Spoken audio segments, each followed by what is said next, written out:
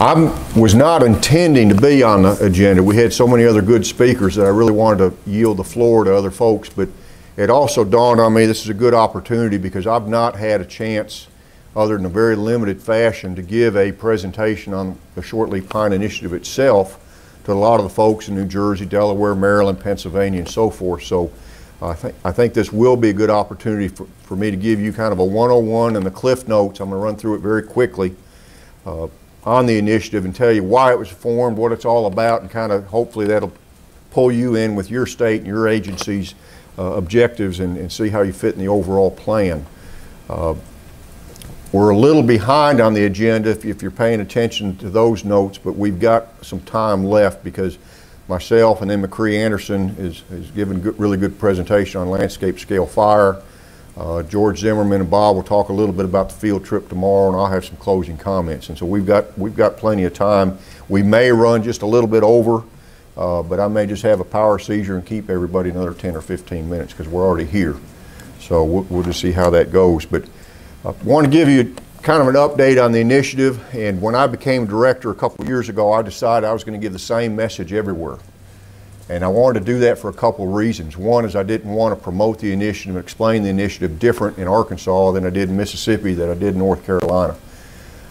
I did that knowing there's a reality with a lot of different state agency infrastructure and budgets. Um, we operate under two Forest Service regions, four Fish and Wildlife Service uh, regions. We operate under numerous joint ventures, numerous LLCs, or landscape conservation cooperatives, LCCs rather. And so it's extremely, if you laid a GIS map down on the 23 states, it's a pretty busy map. But I wanted to give the same message to everybody because I knew as I came on board as a director, and it's been even enhanced since I've traveled around the last two and a half years, that we're managing a system that takes the same inputs and creates the same outputs with very little change, whether it's here in New Jersey or whether it's in Arkansas or Mississippi. You'll see a lot of presenters with a lot of slides from the south and the western part of the range. And that's not a surprise because that management's been going on there for, in some cases, for 20 years or more.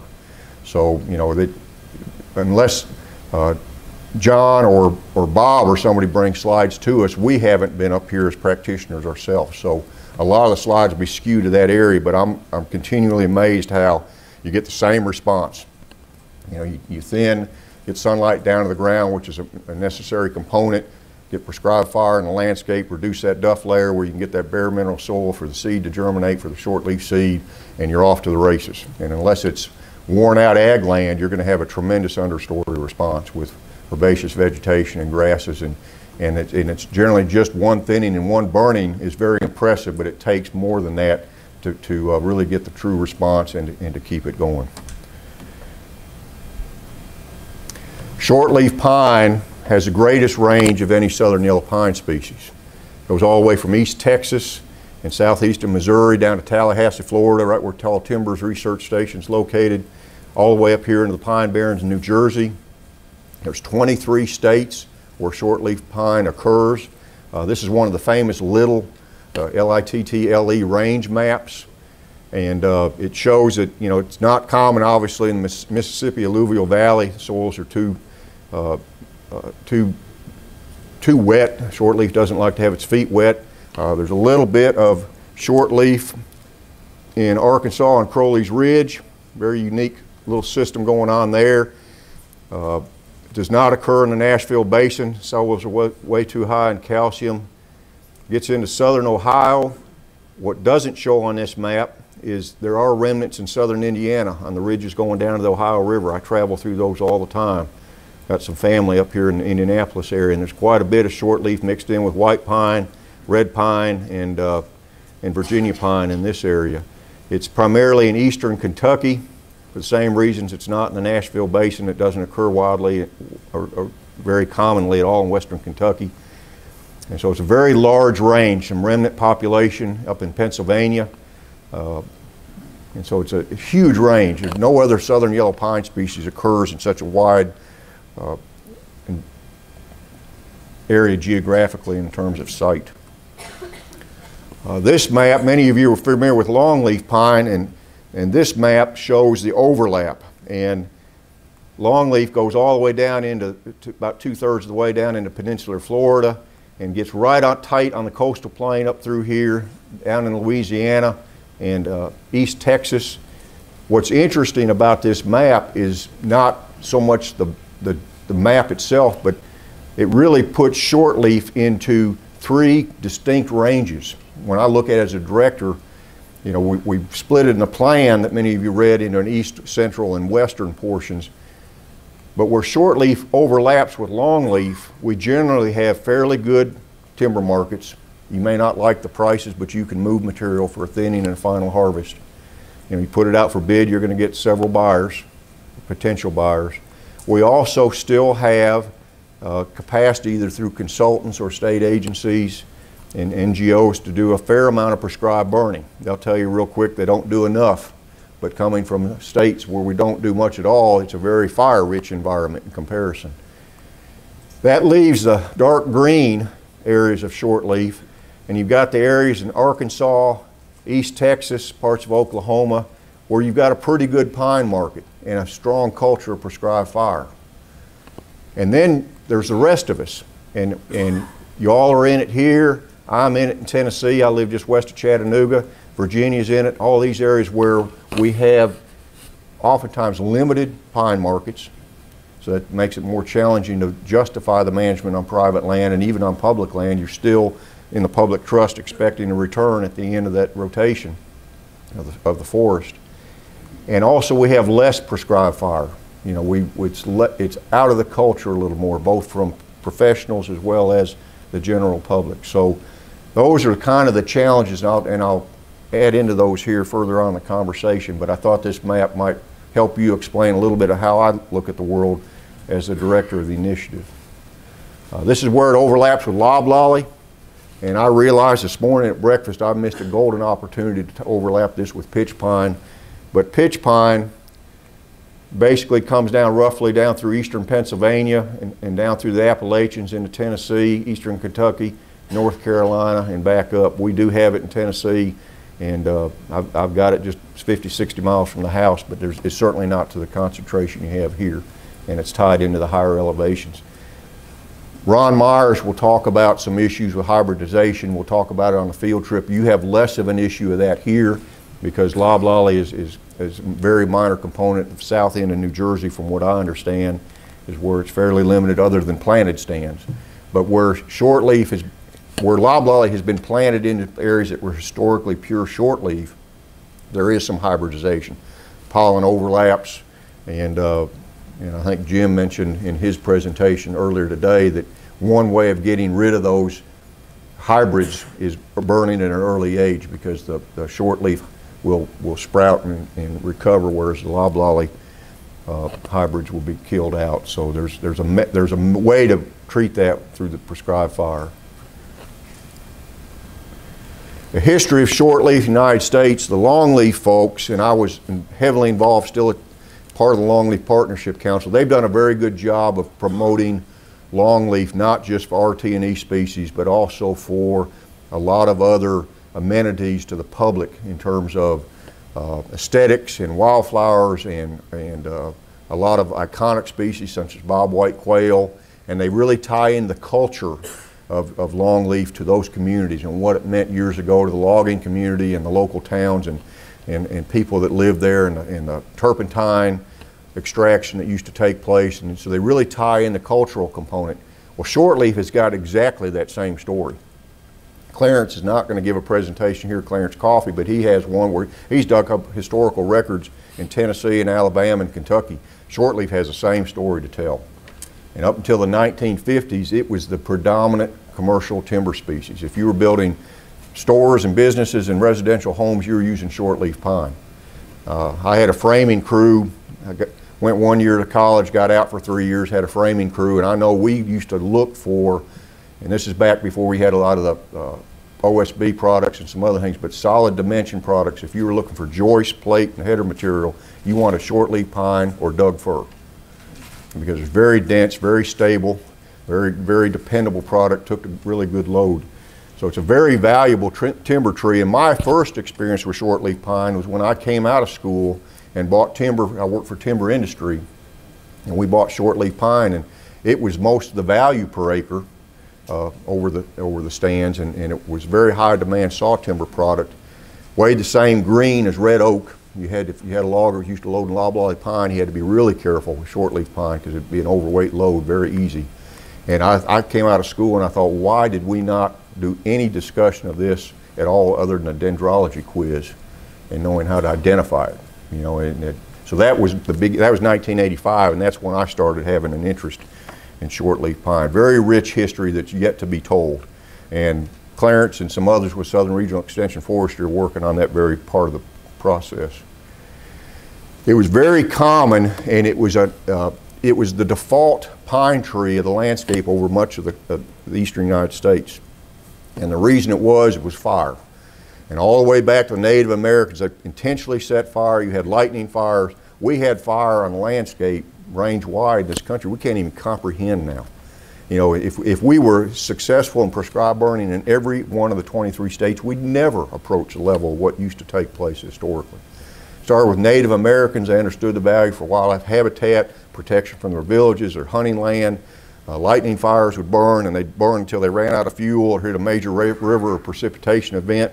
And you'd have this mosaic where shifting winds, you know, it'd burn, you get a southwest wind, and it'd push it to the northeast, and it'd just really rip and snort from you know noon until four o'clock in the afternoon, and lay back down when the humidity came up, and then at night the wind would shift and take off and go another direction, and sometimes it'd go out, and just this this mosaic we couldn't even put together in a computer program was what used to occur on the landscape.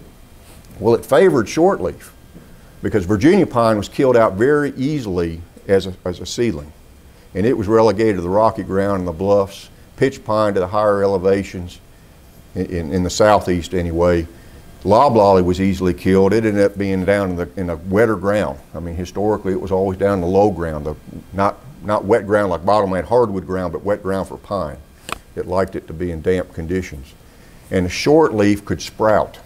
And so these frequent variable fires came through, and they were absolutely the perfect recipe to have short leaf and mixed short leaf pine, oak, hickory woodlands across the landscape.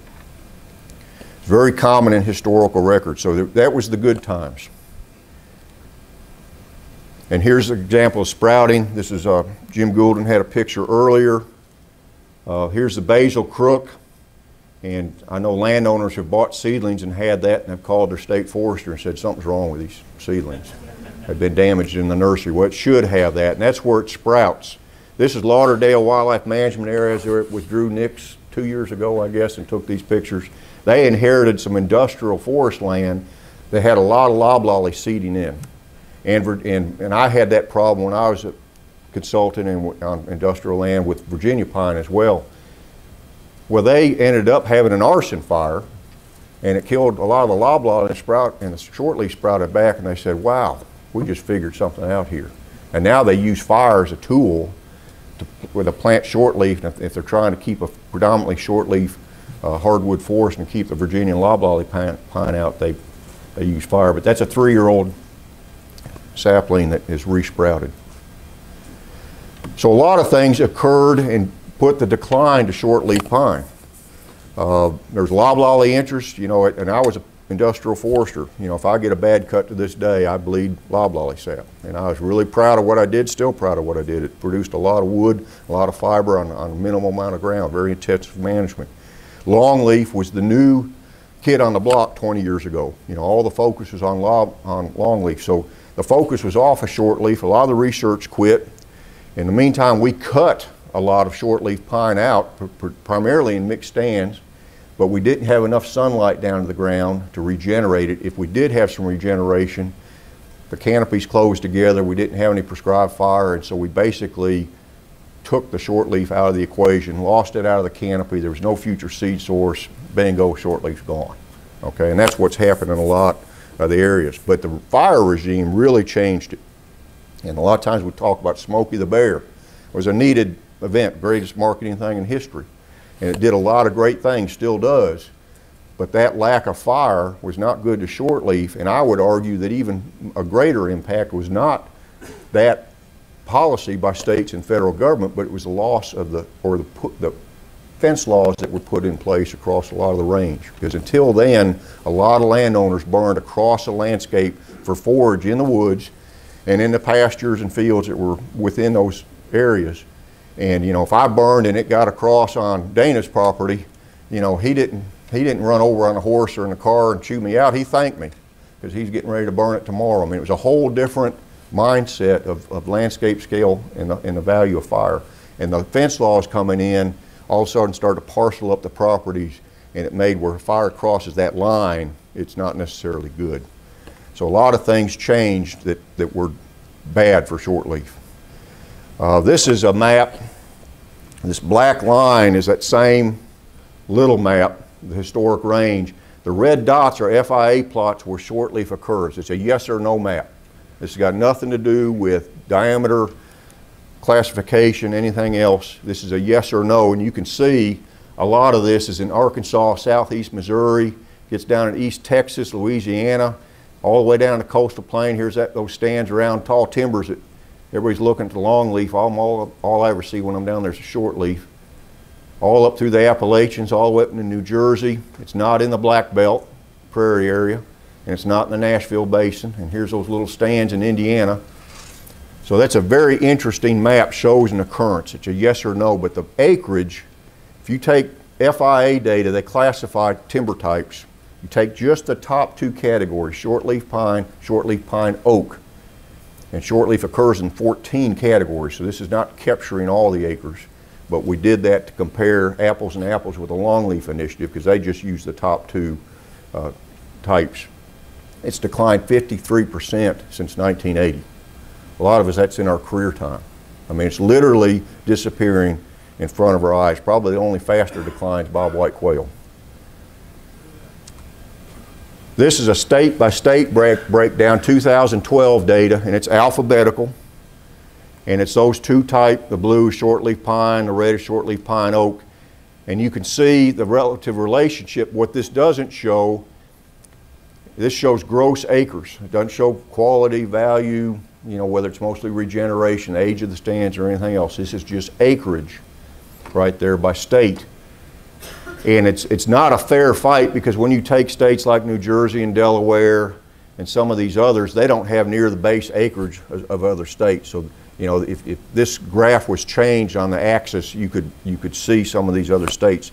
And their resource is just as important, but it's hard to show up on a graph this, with this scale system. 68% of the acreage is west of the Mississippi.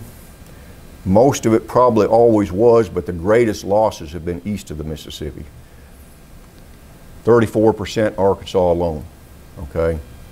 So that, that, that trend carries pretty much across the range and has historically, but I can't overemphasize, and you'll see in these next things, that most of the loss is not in those states, it's, it's the other one. So it was more of a balance years ago. This, you're probably not going to be able to see it from the back, back but the take-home message is every single state in the last 32 years of this FIA data, and, it's, and that trend continues, it's not getting better, has had a negative loss of shortleaf pine. It's disappearing, okay? And even states like Alabama and Arkansas and others in here that you think, you know, we're never going to lose this resource, they've had huge losses themselves. So it's nobody's escaping this. Nobody's nobody's doesn't have to worry about uh, the loss of shortleaf pine. In spite of what Jim said, Arkansas still had a big, a big list. We can argue that over over the hospitality suite later. We lost half the acreage, six million acres. That's 52 percent. And I've got a kind of a simple mind. I, I thought six million acres is a lot of land, and I like to translate it into a rate of loss. And I did the math one day sitting at a restaurant, and I had to do it about three times because I thought surely this is not right. But it is. 22 acres an hour, range wide, we're losing that component across the system. And that, that's incredible rate of loss. That's a section of land in a day. You know, so it's disappearing literally like sand through our fingers, just, and that rate of loss is increasing. So why shortleaf? Jim touched on this, and this is the most common question I get. And I get it from an audience, and I get it from a lot of fellow foresters and biologists who, at the break or a week later, they call me on the phone and say, okay, Mike, I saw your presentation, all that, and that's great. I understand you're passionate about it, but why in the world would I be interested in shortleaf pine? And these are some of my basic answers to that question. They don't cover all of them. But one, it's a declining species the ecosystem. If you're in natural resources, that ought to be a concern in itself because once it's gone, it's gone. You can't manage something that's no longer there. You know, you can't understand it, you can't understand how it, it, affects other species when it's gone. So for that very reason, if nothing else, you should be concerned about. It's a wide range, tremendous opportunity. It is incredibly good saw timber. You know, it, and that and the longleaf folks, I don't think we promote that enough. It's really, really good material. It's the ponderosa pine, it's the Doug fir of the East. It's great stuff. It's a better fit for saw timber and less on pulpwood on a lot of public and private lands. And, and it's not that people aren't interested in pulpwood rotations, but a lot of landowners and a lot of public land are interested in a longer rotation. Carry it further. You know, open it up, keep fire on the ground, get sunlight to the ground, manage it intensively, intensively for wildlife habitat, and extend that rotation age out. It's a really good fit for that. Uh, shortleaf's not always in pure stands, okay, and that's one of the things that, that is hard for foresters to, to grasp because in school we're, we're trained to either manage oak and hardwood forest and that type of silviculture or pine plantations or, or, or solid heavily stocked stands of natural pine. You know, nobody ever talked about mixed stands, and that's a challenge. But for a lot of private landowners and a lot of public land, that's fantastic management. You know, it, it, if you have fire in there and sunlight, you know, and you've got a mix of southern red oak and pitch pine and shortleaf pine and and uh, and white oak and post oak and hickories and all that in there together, you've got a very diverse system. Fits ecosystem management very well in public lands and it fits changing ownership objectives for most private landowners. Uh, I'm a past consultant. There's several consultants in the room. I was a consultant for 11 years, and even years ago, I could count on one hand with fingers left over the number of landowners that ever wanted me to really get into the nit and gritty on their internal rate of return and land expectation value and all those things. They knew what their opportunity cost was. They didn't have that land for timber. They, they wanted to make money. They wanted to buy gravel, pay surveying fees, pay consultant fees, uh, do a lot of neat things on the ground with that income, but their primary driver was legacy, pride of ownership, and wildlife habitat, both consumptive and non-consumptive. And shortleaf management fits into that perfectly. Long rotation, open it up, high aesthetics, high wildlife value. It's a good option on poor to fair sites. you know, in much of the range, I'm still learning about sites here from Bob and, and, and John and a lot of folks in this area, but in a lot of the range, landowners have good ground, riparian areas for hardwood, north and east slopes for hardwood, bottomlands for hardwood. They've got some fairly rich soils that are real good if they want to plant loblolly for a fast return. Okay, but they've always got that ridge top and that west and south aspect that's dry and, and doesn't grow good hardwood timber. And, and historically, nobody knows what to do with that. Well, you go out there and there's three or four short leaf, relic short leaf to the acre, legacy from past management decades ago, and hickories and southern red oak and post oak, and I know now exactly what to do with that. You know, get a little bit of timber revenue off there to pay for drip torch fuel and put that into wildlife habitat on a long rotation. Great opportunity. Uh, has short, narrow crowns, very resistant to ice damage because of that and wind throw. Uh, very strong tree. It's not that it's not storm proof, but it withstands that better than loblolly. So there's some real advantages of that from a long-term basis. Four years, four locations back in 2013, ending up in Waretown, just north of here in June of 14. We had some stakeholder workshops because from the Huntsville conference in 2011, we realized we needed to have a range-wide plan. We needed to have that so state agencies could anchor to it, so the Forest Service could anchor to it, so the JVs could anchor to it, so the state wildlife action plans could anchor to, anchor to it, state resource, forest resource plans. Everybody needed something to point their plan to and tie it in, particularly under ecosystem management. So we pulled stakeholders in, had four workshops in preparation for restoration plan, which was released a year ago this past summer. It's been out since 2016 in July. Uh, approved in the spring by the advisory committee. And it's, it's, it's our first plan. It's good for five years. You've got, we got hard copies out there. You're welcome to. They're on uh, PDFs on your, on your lanyards, on the jump drive. And it's a basic plan to get us out the gate. And uh, a lot of people attended those stakeholder meetings. We didn't have a lot of data on short leaf, but we had to start somewhere. You know, a lot of times going down a path, you got to lean forward, the next step comes. Little timeline, uh, we started March 2013, that's when we're official. And the plan was released in 2016, and we're down there at the bottom here in New Jersey at this conference. So a lot has happened. We've had a lot of workshops, over 160 workshops and meetings on shortleaf pine across the 23 states just since 2013, uh, impacting a little over 4,000 professionals. So we've had a lot of work going on promote the initiative, and we're very much still in that phase. The restoration plan is broken down into some key components, and McRee Anderson's coming up next. He and Doug Zollner with Arkansas Nature Conservancy were the facilitators and the plan writers, uh, or one of many of the plan writers for the restoration plan. And these were key components that stakeholders felt were important. You know, you've got to have partnerships. It's public land and private land are two totally different issues on, on where you move forward with the initiative and how you go about it. Economics, you've heard that already, that's an important thing. Ecological sustainability. You've got to communicate and outreach and train professionals. We're still very much in that mode, not so much working with landowners yet, but training professionals. Because if you have a room like this, even in places that a lot of you may think everybody knows everything about shortleaf, you know, if I go down to Alabama where Drew's from, or I go to North Mississippi, you know, and, and ask foresters and biologists in the room to raise their hands if they've ever cut shortleaf, planted shortleaf, burned shortleaf, done anything, there might be three or four hands go up and about this high, right back down. You're not alone. So there's that comfort level and that training and expertise takes training professionals first, demonstrated on public land, and then you can make that easy step to private landowners because then you've done it. You see how it works. There's a lot of threats to shortleaf. Uh, you know, the world is definitely not perfect to shortleaf pine either. The altered fire regime is, is huge.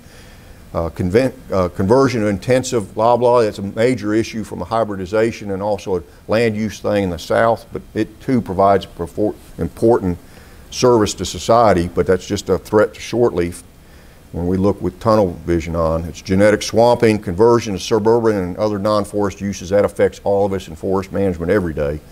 Uh, poor markets, southern pine beetle outbreaks, particularly in unmanaged stands. You can mitigate most of that by open stands and, and having a, a aggressively growing timber and prescribed fires. So uh, the real threat and a lot of the loss of shortleaf historically in many areas has been from unmanaged, extremely heavily stocked stands that really uh, lend themselves for a, a, pine beetle outbreak. Some barriers, we didn't have a plan, but we do now. A lack of funding and personnel for prescribed fire. Remember that map, how I split it up early on. There's still a lot of us, a lot of shortleaf range. We're, we're just getting our feet wet on prescribed burning and, and getting that going on state and federal land, and it's, and it's harder to get done on private land. Uh, limited seedling supply. We can plant, we've got plenty of seed, but 20 or 30 years ago, a lot of state nurseries closed, seed orchards were cut down and rogued out. So we, are pretty good on seed, but the seedling production hasn't caught up. We can plant around six to 8,000 acres a year right now. That's a drop in the bucket. You know, we can't plant our way out of this loss, but that's going to be part of the equation. Our best opportunity is, is working with public and private land that has some component of shortleaf in the overstory. You don't have to have enough for the classic silvicultural seed tree harvest or shelter wood. You just have to have some remnant relics there. Get sunlight down the ground, get fire on the landscape, and you'll have that regeneration. Cost you very little money, instant, instant, uh, instant gratification, if there is a such a thing in forestry and wildlife habitat, can come from that scenario. And a lot of fundamental research quit. You know, you got to go back to old black and white hand type research papers when you dig them up in the archives on shortleaf pine. It all just stopped in, in, the, in the 60s and 70s. So a lot of changes. Um, get through that. Next steps, what we're doing here, building partnerships, collaborating with other professionals. That's, that's, the value of this conference is getting everybody together range wide. And, and today's just the first of three days of that opportunity. Site-based conservation. I tell everybody, remind them, this is the right tree in the right forest in the right place. Doesn't belong everywhere. The worst thing we can do as professionals is make it fit somewhere. You know, look, look at the historic range, look at the soils, look and see if shortleaf's still present on the site. You know, if you have those things, you're, you're good to go. But don't plant it everywhere. It's not a magic or silver bullet. And a strategic and adaptive approach. Learn from one another.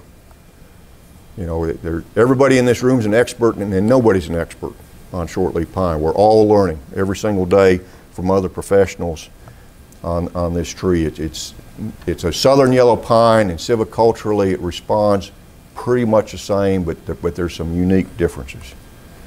We've got an advisory committee. We've met three times. Uh, Forest Service, Fish and Wildlife Service, NRCS, you, you recognize most of these uh, acronyms, National Association of Conservation Districts, uh, Nature Conservancy, National Wild Turkey Federation. Chris Coxon's here. Chris, where'd you go? There he is, right there in front. American Forest Foundation, Chris Irwin will give a presentation Thursday. Southern Group of State Foresters, a very active group. Uh, Southeastern Association of Fish and Wildlife. We've got Quail Forever involved, uh, private consultants. We need to get more partnerships developed up in this area. And, and one of the, this is not just a southern species. When you cross out of Region 8 with the Forest Service and go into Region 9, you know, that's been a hard political barrier that we need to try to ignore as an initiative and make that step right across it just like it's a little creek crossing. Because if we don't, it leaves a lot of these other states out that are in the shortleaf range and we just focus on, on the states in the southern group of state foresters range, and that'd be a huge mistake. So we've got a lot of, lot of building to do with that. Final thoughts, manage it for the objectives of the landowner and the land. Bob mentioned that. You know, that's our role, is to meet objectives. Uh, manage shortleaf on the proper sites, be realistic in your expectations, measure twice and cut once. I said I used to be a carpenter. That's one of my favorite sayings. Generally, if you get in a hurry, something goes wrong.